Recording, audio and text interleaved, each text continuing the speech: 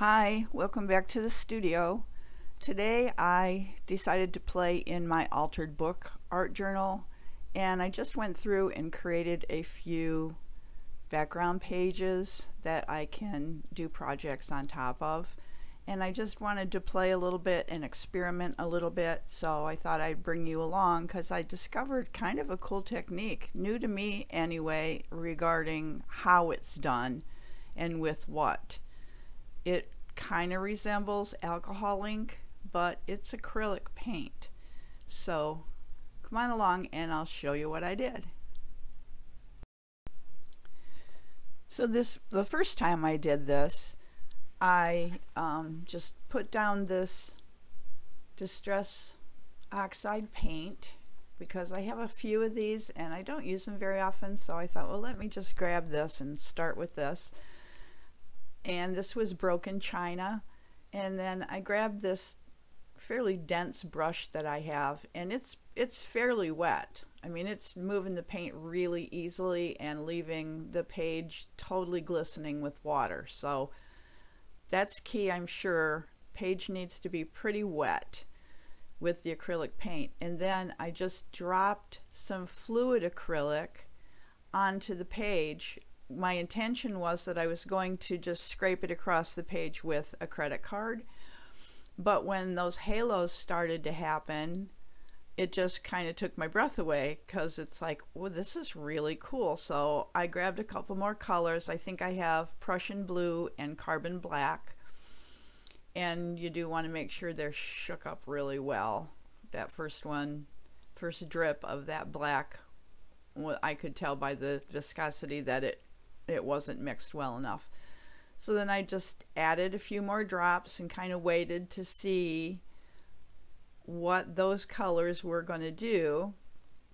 Now this was this was the second time that I that I did this. The first time I did this, the picture that you saw in the intro, I wasn't filming. I was just playing in my art journal. But when that happened, I thought, ooh, I have to try to do this again and show you guys. So this was the second one that I did. So as they sat, you can see the blue started to move out a little bit, the black not so much. So I just grabbed my fine mist spray bottle of water and just gave each little drop a spritz of water so and you can see when the light hits it it's the page is pretty wet and everything is moving pretty good. So now I'm really getting excited because I'm loving what I see. I wanted the blue to move a little bit so I wet that just a little bit more. And then I just continued to dance back and forth between moving it around and letting it spread on its own and adding a little more water and blotting some of the water off. I was trying to be careful so that the water that was gathering at the edge of the page didn't um, seep into the pages underneath it because I didn't have a protective paper in between those pages, which would have helped, but I didn't. Anyways, so then as the colors started to intermix, I really, really liked it. So I thought, well, I need to keep moving it while it's still wet because it's going to start drying and then it's not going to move as much. But I liked the black. The black didn't spread as much, but the way it mixed in with the other colors, I really did like. So um, I'm just getting ready to show you I think the the three colors that yeah the three colors that I used. So there was carbon black Prussian blue and green gold all in the golden high flow acrylics which are really more kind of like inks than paint but they're a little more fluid than the fluid acrylics. And then um, as you saw, the background was the Distress Oxide paint in Broken China. So then I just grabbed my heat tool and I, I liked the way everything was as it sat, but I wanted to start drying it off. And I knew it was going to move a little bit more as I dried it, which it did, but I tried to keep it pretty much the way it was as as it was sitting there drying and not move it too much more. So I dried it off and I really like it.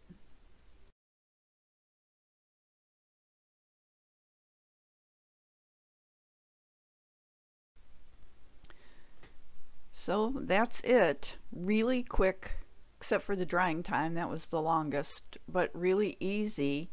Um, it kind of reminds me of a cross between an acrylic pour and alcohol ink. Um, you just get these cool halo effects and intermixing of the colors and I just really like it a lot.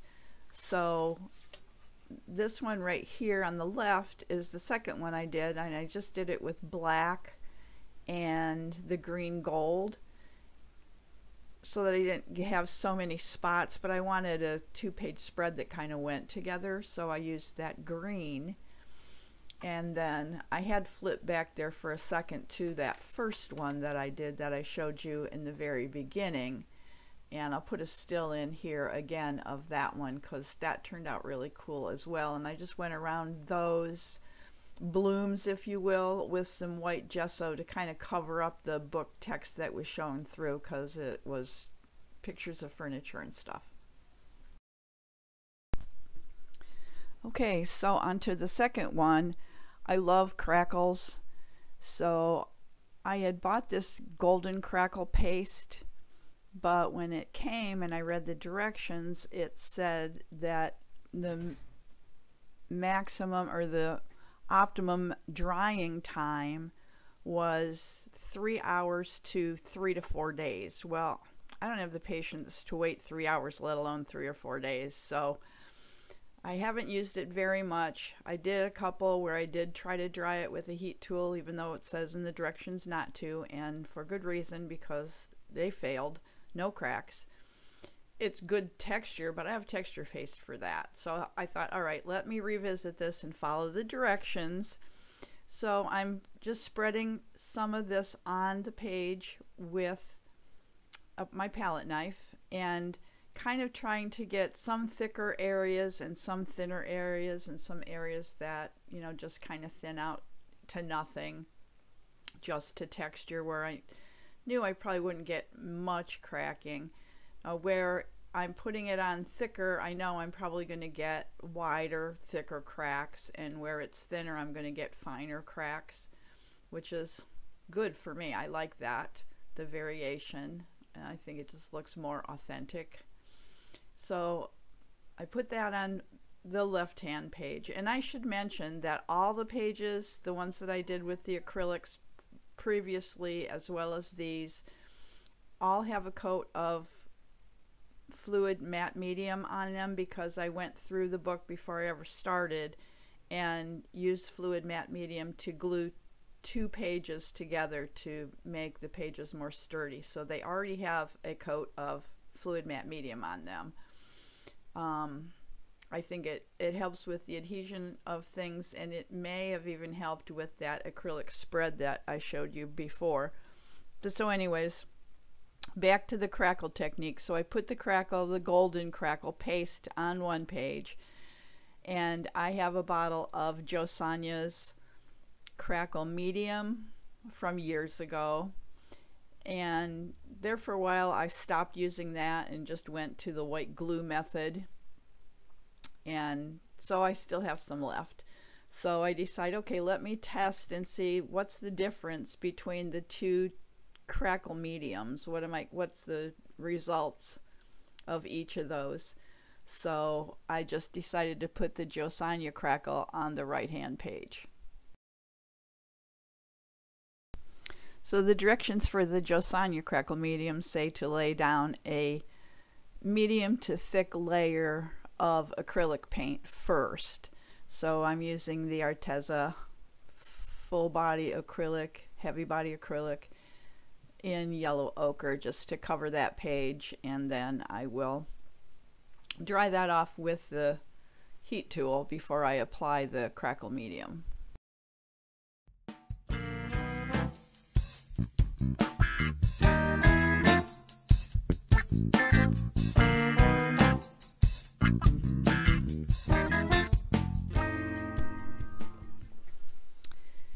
Okay, so the acrylic is all dry and um, again the directions say to apply a fairly thick layer of the crackle medium over the acrylic, the dried acrylic paint and not to overbrush an area where it's already been applied. So I'm trying to go for a fairly thick application right from the beginning so I don't have to try to go back in and make it thicker and hence overbrush it. So just applying it directly to the page as you see there and just spreading it across.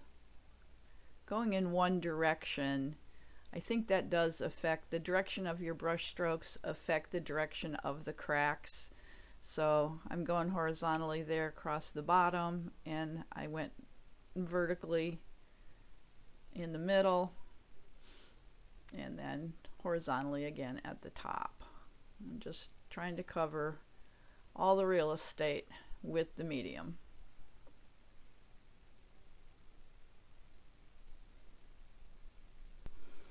Now comes the hard part of giving it all enough time to dry. The Jo Sonja directions say that you can put a glaze or another color over the top of the dried medium that the crackles will begin as the material dries.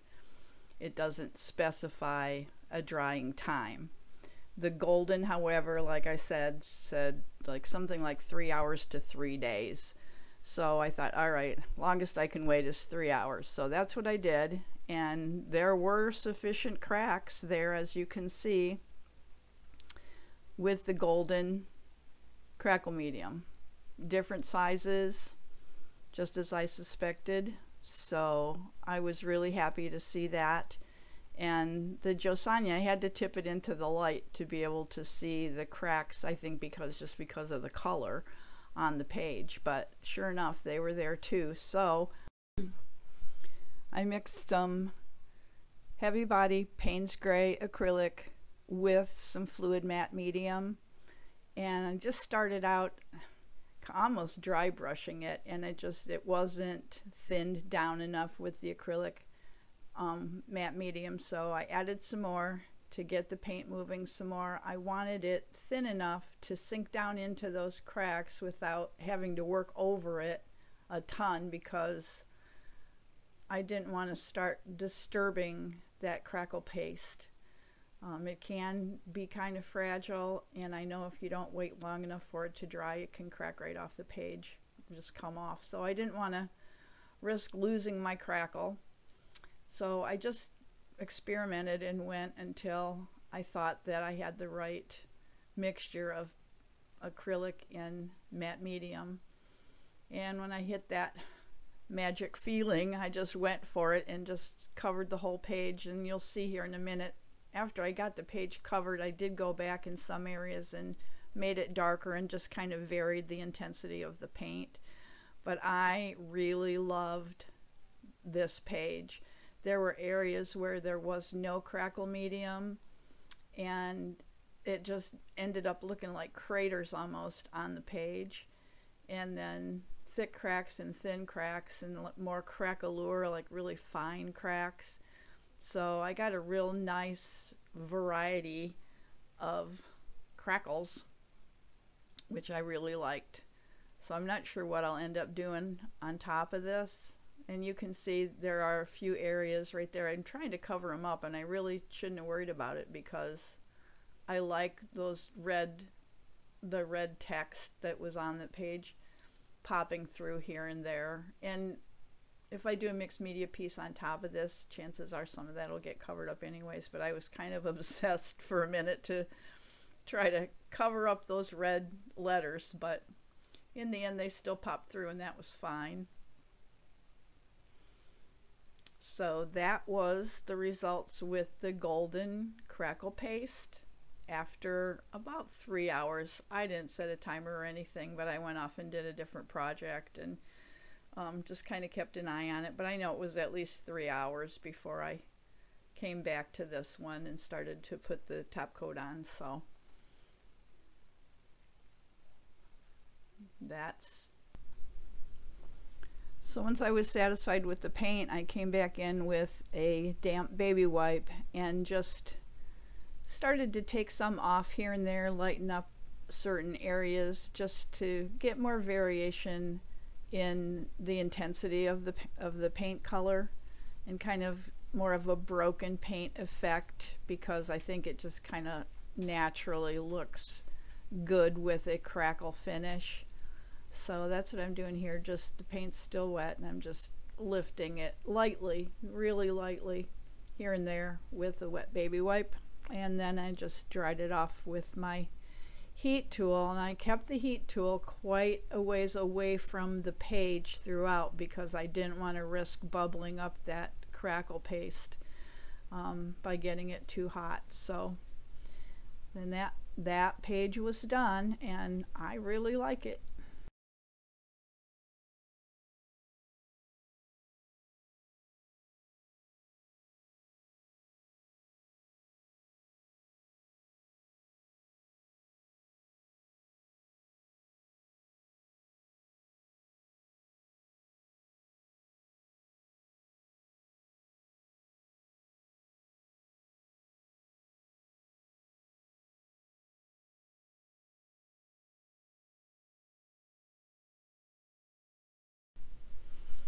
Okay, then it was time to add the color, the top color, to the Jo Sonja side. So in fairness, I'm using the exact same ratio of heavy body acrylic and Payne's Gray with matte medium and just applying it to the page that I put the Jo Sonja crackle medium on.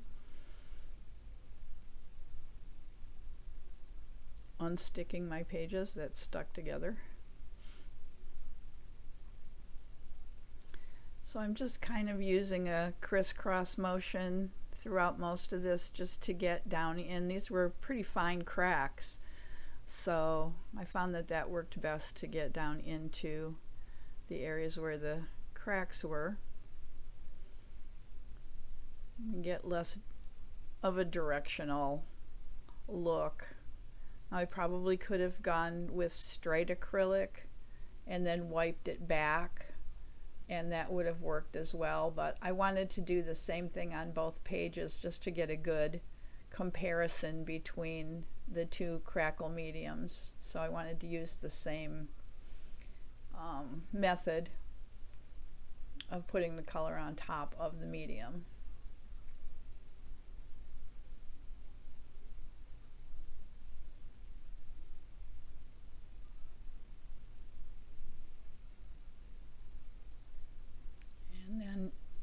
did exactly the same thing to try to kind of soften back some areas and give a broken paint effect with the damp baby wipe.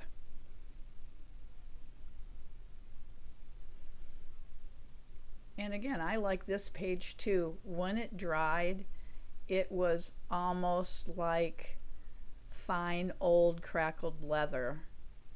Um, I think I would like it a lot if I really wanted it to look like leather to use like a burnt sienna or a burnt umber as the undercolor and then a darker color on top. So there you can see how fine those cracks are. It's more of a craquelure type of a crackle but really really awesome. I really like it. So I like both of these. I think they both would have a place uh, depending on the look that you're going for and the kind of artwork that you want to put on top of it.